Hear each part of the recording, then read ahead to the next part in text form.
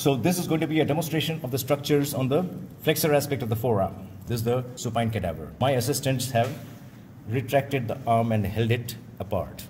We have completely exposed the cubital fossa and we have exposed the muscles and the neurovascular structures on the flexor aspect of the forearm. So let's start off from the cubital fossa and trace everything downwards.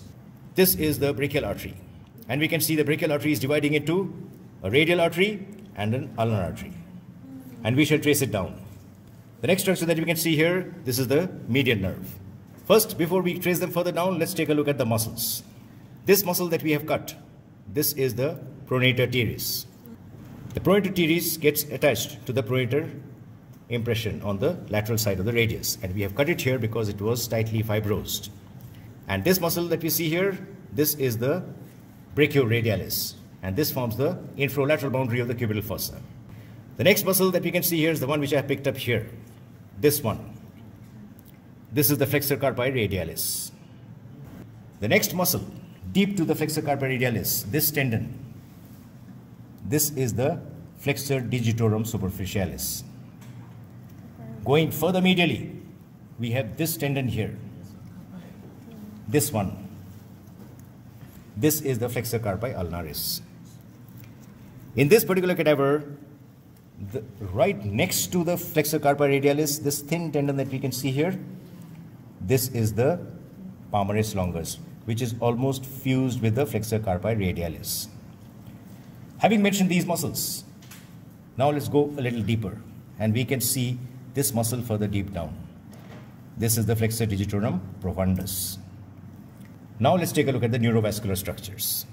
Let's trace down the median nerve. This is the median nerve.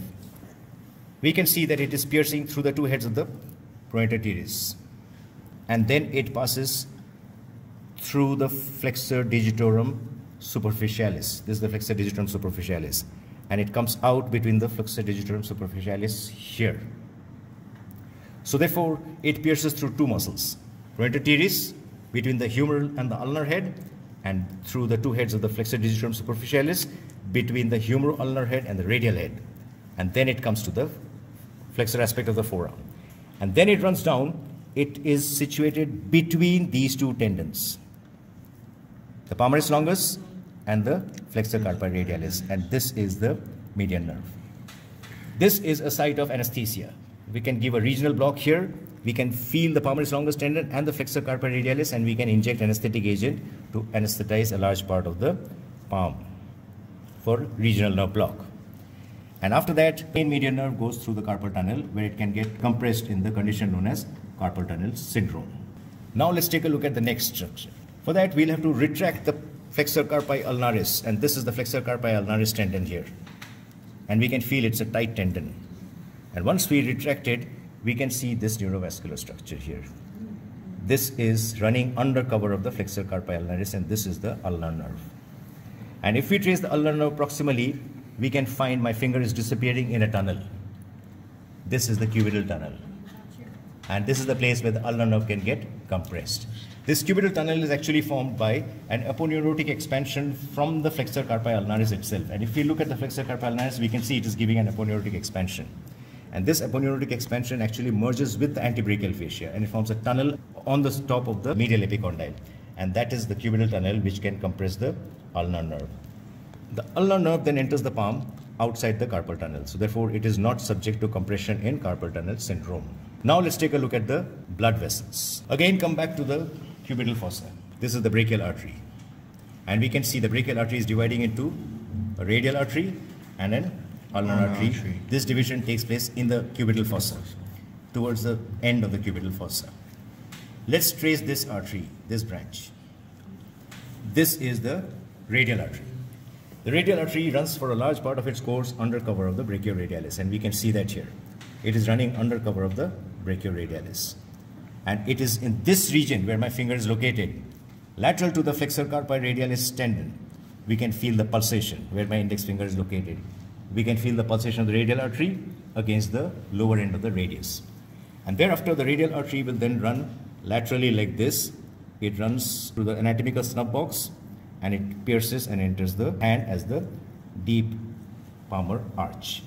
Now let's take a look at the other division. of the brachial artery. This is the other division. This is the ulnar artery. And we can see it is giving a branch here. The ulnar artery gives off the common interosseous artery, which gives off an interosseous recurrent and an anterior and posterior interosseous. But all those have been highly thrombosed and fibrosed here. So we can see only the main ulnar artery here. The ulnar artery then runs medially and we can see the rest of the ulnar artery running here. And this is the ulnar artery and when we trace it further, we can see this is the ulnar artery here. This is the ulnar artery. The ulnar artery is situated lateral to the ulnar nerve. This is the ulnar artery.